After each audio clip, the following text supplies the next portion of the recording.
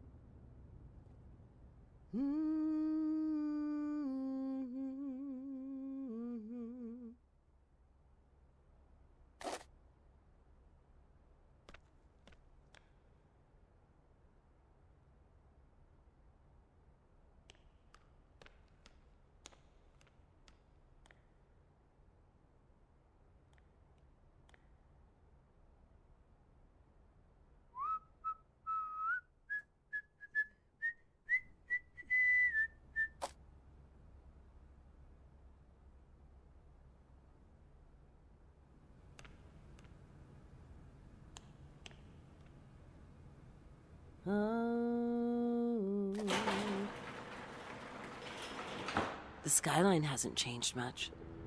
The silhouette's still the same so far. But the city has a new energy, and I can feel that deep down. The industrial quickening of war. People organized by hierarchy, aimed at each other with purpose, instead of breathing and flowing through one another like a city's supposed to feel.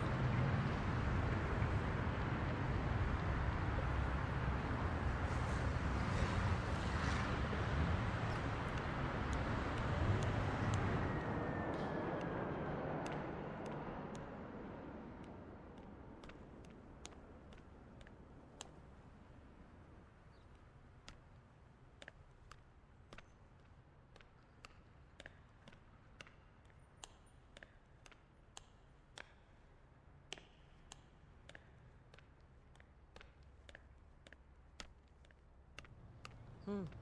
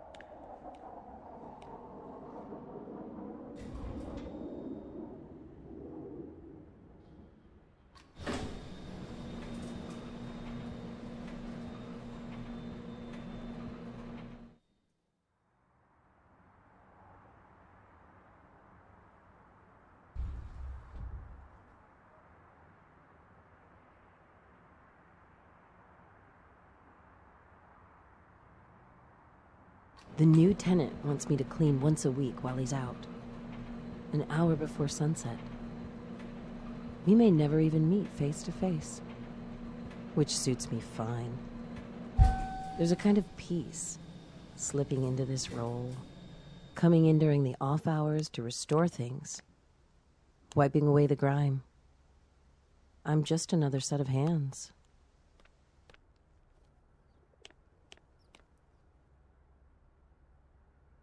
Hmm. It keeps me up at night, wondering if this is some kind of destiny.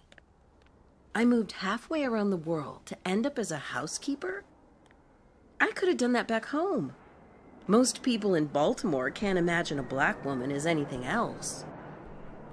I left the US to get away from that jaundiced perspective, from stupidity and hate. And here I am, trapped in a country going to shit, cleaning this man's house.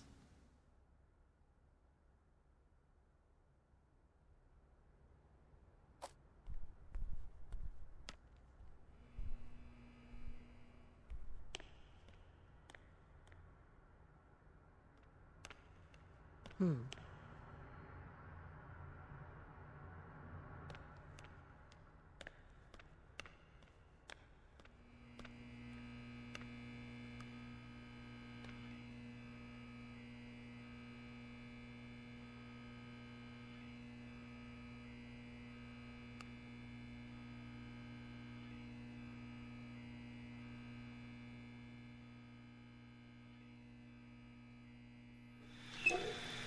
Hmm.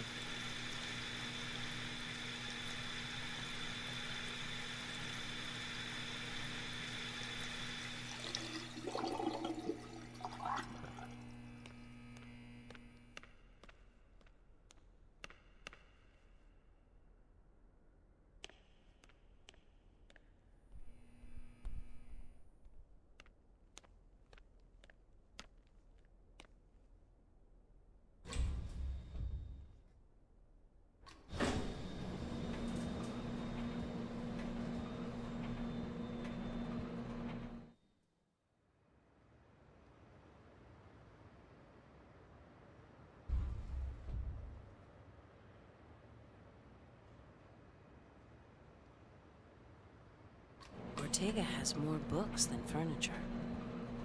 Like he's building up bunker walls made of precious words. You can feel the depression in this place. How am I supposed to scrub that out? Senor Ortega might be wealthy, but there's not much left to spend his money on.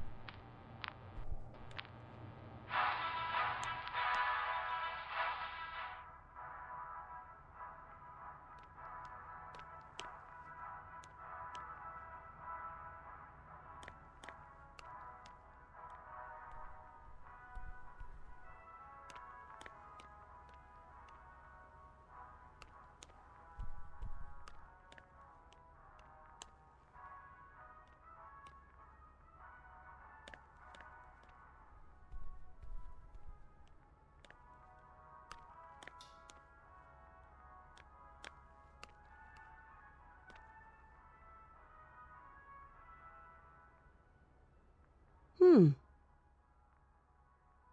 The only thing that gives him any joy are the books and the little artifacts he rescues. In the Republic of Anchuria, everyone suffers an affliction of the soul, rich and poor alike. For some, it's meat on the table. For others, it's watching canvas burn.